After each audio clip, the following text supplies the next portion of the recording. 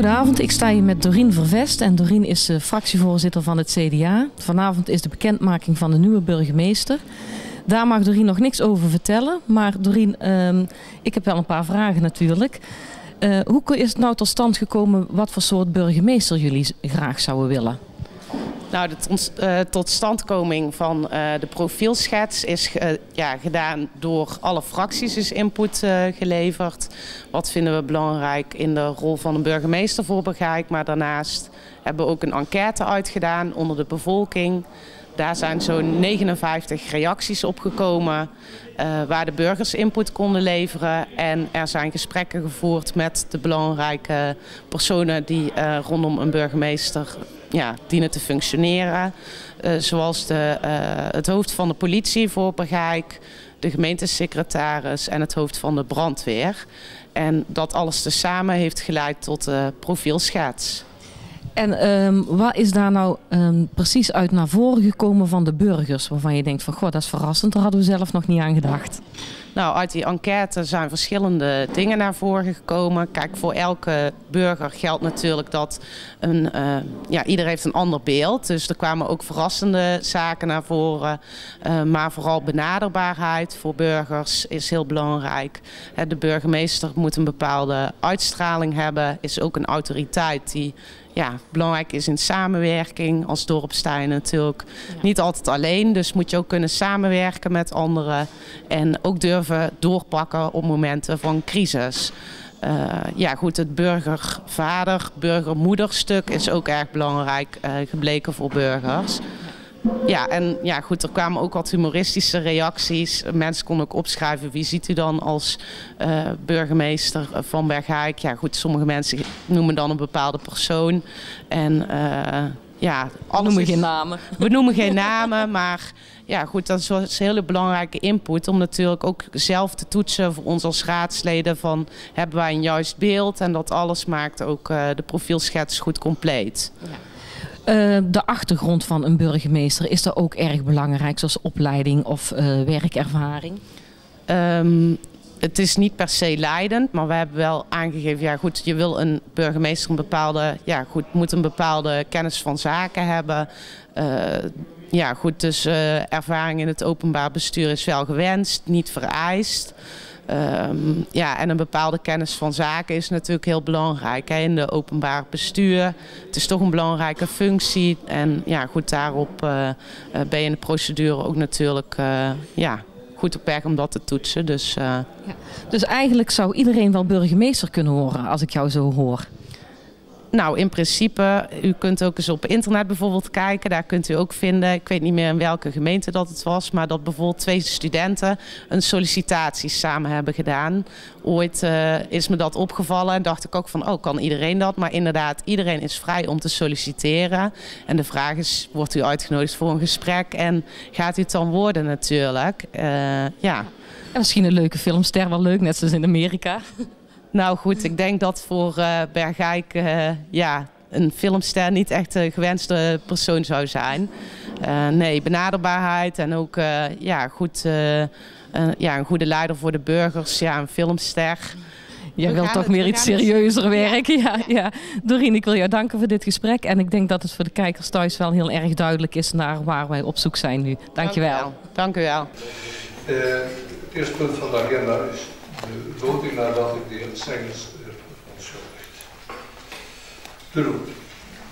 Mooi, dat ik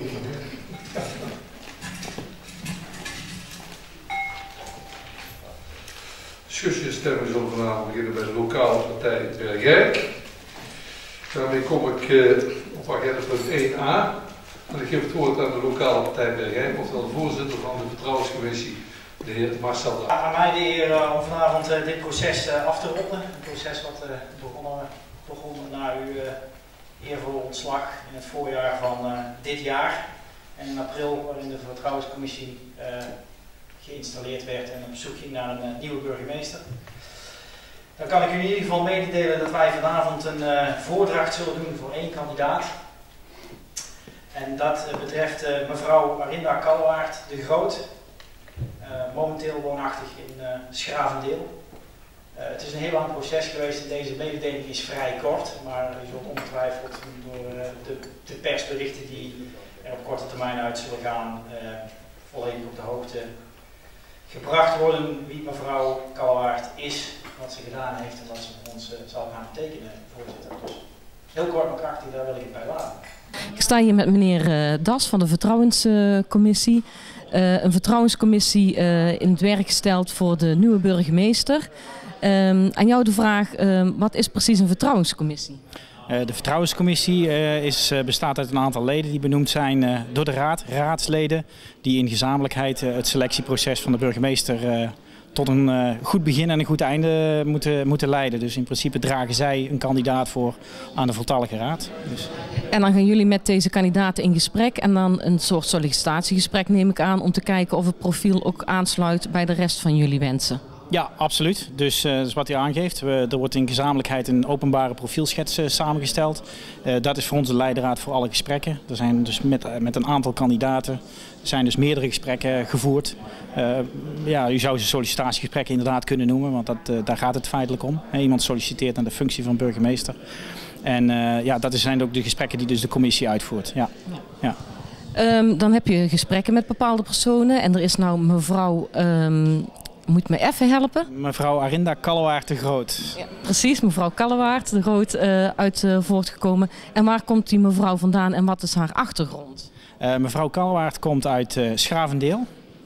dat ligt bij Dordrecht voor degenen die dat nog niet, niet weten. Zij heeft al een brede achtergrond in het openbaar bestuur. Zij heeft al een aantal functies uitgevoerd. ook functies bij het leger des Heils op verschillende vlakken. Is actief ook binnen het CDA op, uh, op uh, politiek vlak uh, natuurlijk. Dus ja, dat is een beetje in het kort haar, haar achtergrond. Ja. Dus eigenlijk een heel sociaal persoon op bestuursniveau. En ja, Bergijk is ook sociaal en een groene gemeente, dus dat moet eigenlijk wel gaan kloppen, denk ik. En het is een vrouw, dat is natuurlijk ook wel heel fijn. Ja, kijk, het is, uh, er is natuurlijk wel wat aan te, over te doen geweest bij de profielschets. Alleen we hebben toen aangegeven bij gelijke geschiktheid. Nou ja, uh, het, het, is, uh, ja, laat ik zeggen, toeval dat er een vrouw uitgekomen is. Zij is gewoon wat ons betreft de beste kandidaat. Uh, en, en een vrouw, dus nou ja, prima. Kijk, ik zeg al, het belangrijkste was dat ze voldeed aan onze eisen. En dat heeft ze zonder meer aangetoond dat te doen. Dus. Ja, en dan gaan wij als burger eigenlijk op de kwaliteit af van jullie commissie. Dat er inderdaad ook wel ja, goed is, een goed profiel is. Um, hoe voelt het nou voor jou dat je nou eindelijk hierover mag praten? Want jij hebt heel lang moeten zwijgen, hè? Uh, ja, eigenlijk vanaf het begin. Dus dat voelt wel goed dat het proces voorbij is. Uh, natuurlijk blijft het zo dat wij altijd bepaalde informatie geheim zullen moeten houden. Maar het is wel een hele opluchting dat, het, uh, dat de race vanavond gelopen is. Dat we een kandidaat gevonden hebben. Dat we een goede kandidaat gevonden hebben. En ja, dat, dat betekent voor de leden van de Vertrouwenscommissie wel weer wat meer rust inderdaad. Ja, absoluut. Ja. ja. Nou, we hopen haar snel een keer te ontmoeten, voor een, uh, ook voor een interview. En ik wil jou heel erg danken voor dit uh, interview en misschien tot ziens. Graag gedaan. Uh, Matthijs, ja, jij krijgt een nieuwe collega, een hele belangrijke collega. En ehm, ja, jij wist eigenlijk ook heel weinig nog. En wat denk je zelf? Nou, uh, ik wist heel weinig. Ik was eigenlijk een van de weinigen die wel iets wist. Want ik uh, heb het voorrecht gehad dat ik uh, als adviseur van de Vertrouwenscommissie op heb mogen treden. En dus ik heb al kennis met haar gemaakt. En ik, uh, ja, ik kan niet anders zeggen dan dat ik uh, erg tevreden ben met uh, onze nieuwe burgemeester. Een zeer, krachtige, zeer krachtige vrouw. Maar vooral ook een hele warme persoonlijkheid. En dat is natuurlijk ook heel belangrijk voor de nieuwe burgemeester van Begijk. Ja. Dan ga je afscheid nemen van de oude burgemeester. Want ik vind dat moeten we ook eventjes noemen natuurlijk. Die heeft het echt uitstekend gedaan. Dus ze gaat het nog wel een beetje zwaar krijgen. Ja, Driek, onze eh, burgemeester, is hier acht jaar natuurlijk zeer uh, nadrukkelijk aanwezig geweest. En uh, ja, in het dorp ook zeer gewaardeerd om hetgene wat hij gedaan heeft en zijn persoonlijkheid. En natuurlijk, ze heeft daarmee te dealen. Maar ik ben er ook van overtuigd dat, dat, dat ze dat op een goede manier zal gaan doen. En dat Driek een waardig opvolgster krijgt. Nou, dat is heel mooi Matthijs. Ik wil je danken voor deze reactie en veel succes samen. Oké, dankjewel. Nou. Frank, even een korte reactie. Ik hoor dat u uh, eigenlijk helemaal niets wist van uh, de kandidaat tot voor kort, want je hebt ze net gebeld. Nou, de vertrouwenscommissie heeft natuurlijk zijn werk gedaan hè? en daarna komen wij pas. Ik heb net uh, voor het eerst kennis gemaakt via de telefoon en haar gefeliciteerd namens het college. En morgen gaan we bezoek brengen. En ze is dol enthousiast.